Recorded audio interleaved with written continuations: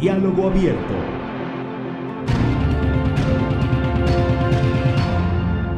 Regresamos con Diálogo Abierto. Nosotros de inmediato vamos a darle la bienvenida a nuestro invitado del día de hoy. Él es Macario González, coordinador de la Mesa de la Unidad Democrática por el Estado de Lara. Bienvenido, Macario. Muy buenas tardes. Muchas gracias por la invitación. Bueno, Macario, de una vez calientico la- el, el balance de, de la Mesa de la Unidad Democrática en la- lo que fue la participación del día de ayer en las elecciones primarias. Bueno, muy satisfecho con esta jornada que vivió la unidad democrática en el Estado Lara y en el país. Ayer, eh, bueno, fue eh, un acto impecable, la- dirigido por la Comisión de Primarias, el doctor Jorge Rosell al frente de ella, acompañado de un conjunto de personalidades muy respetables de la sociedad civil que pusieron su prestigio al servicio de la democracia, eh, monitoreando y organizando este proceso que ayer terminó de manera satisfactoria, eh, tanto al ser eh, reconocido el resultado por la Junta de Primaria de- a favor del gobernador Henry Falcón como candidato de la Unidad Democrática y seguidamente e inmediatamente reconocido por el candidato Luis Florido, cosa que habla muy bien de ambos contendores porque ya habían suscrito un acuerdo de reconocimiento inmediato del resultado a quien favoreciera. En este sentido se demuestra la madurez de ambos líderes, la madurez de la unidad democrática de ir a una contienda de este tipo y terminar satisfactoriamente. En ese caso, pues, un, saludo, cordial saludo al Junta de Primaria, a los candidatos por la manera tan gallarda como compitieron, y al pueblo de Lara, que no obstante los presagios de que no iban a concurrir al proceso porque hay desánimo, etcétera, sin embargo, de manera espontánea hubo una movilización bien respetable eh, y estoy seguro que una vez que agarremos el paso otra vez del camino electoral, se va incorporando mucha más gente a esta jornada. Eh, eh, Macario, a eso iba, porque muchas de las personas, bueno, decían, no, yo no voy a votar, yo no voy a ir a estas primarias, yo no quería primarias, yo no, X, Y, Z, pero decían que no iban a ir. ¿Está bien la cantidad, según la Mesa de la Unidad Democrática, que asistió ayer a las primarias?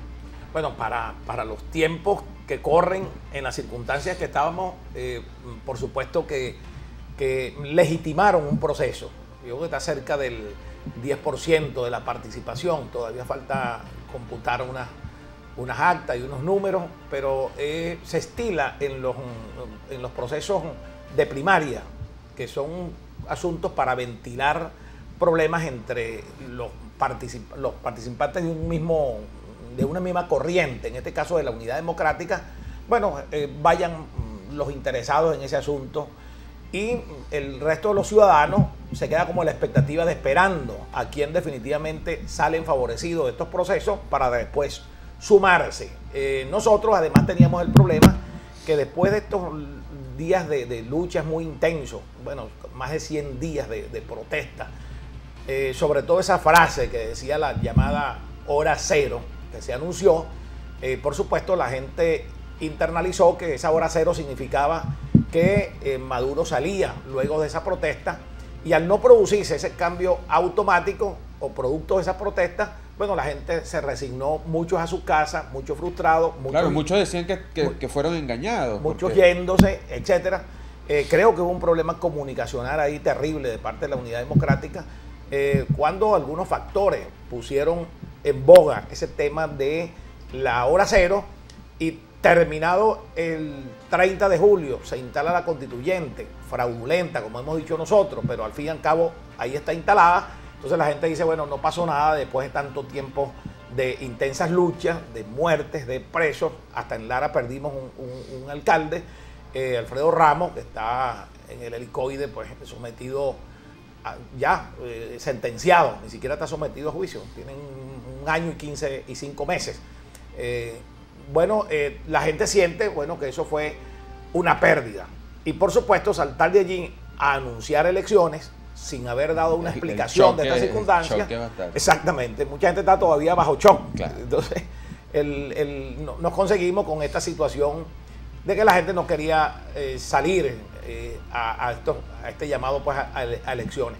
Bueno, finalmente, eh, por eso digo que en con una circunstancia tan negativa, sin embargo la gente concurrió y sobre todo gente muy espontánea. Es verdad que los partidos movieron, hicieron lo suyo, los comandos de campaña eh, en la contienda, pero me atrevo a asegurar que la mayoría que asistió fue muy espontánea, gente de todas las edades, o muy jóvenes, o muy ya muy, muy ancianos, eh, gente, eh, mujeres, todo el mundo movido. ¿Se registraron problemas el día de ayer en algunos centros?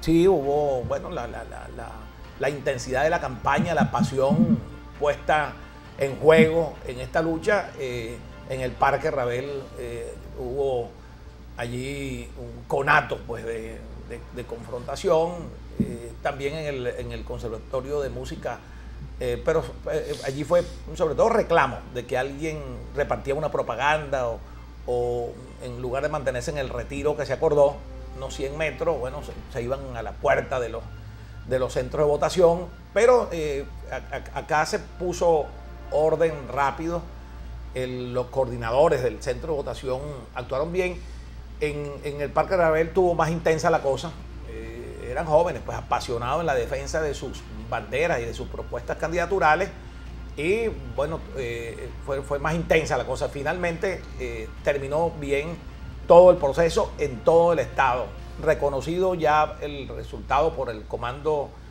que confrontó a Henry Falcón en este caso, pues en, Lara podemos decir que nos preparamos para reunificar todas estas fuerzas que compitieron y ponerlas al servicio de la victoria del candidato de la unidad, que es Henry Falcón. A, eso iba, si iba a existir unidad en, el estado Lara luego de, de las elecciones primarias. No tengo la menor duda, ahí hay gente que es gente madura, gente comprometida, gente que sabe que por encima de interés personal o grupal está la urgencia de que de reposicionar la unidad democrática obteniendo la victoria en casi en todas o casi todas las gobernaciones del país.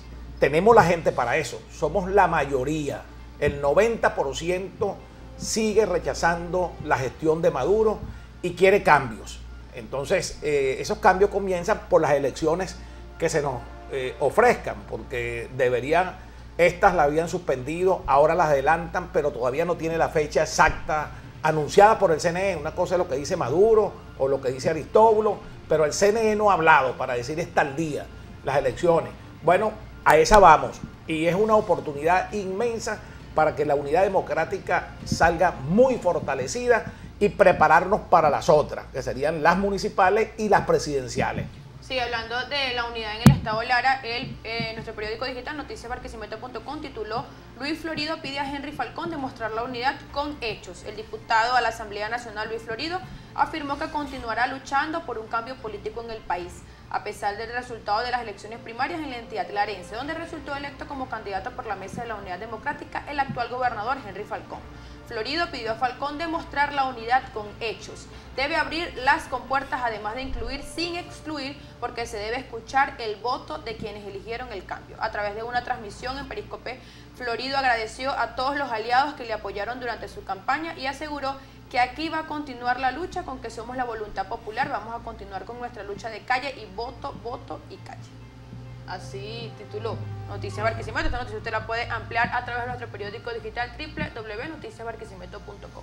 Nosotros seguimos conversando con Macario González, coordinador de la Mesa de la Unidad Democrática en el Estado Lara. Vamos a hacer un corte y regresamos con mucho más de nuestra mm, programación en la tarde de hoy, Diálogo Abierto, a través de Somos TV.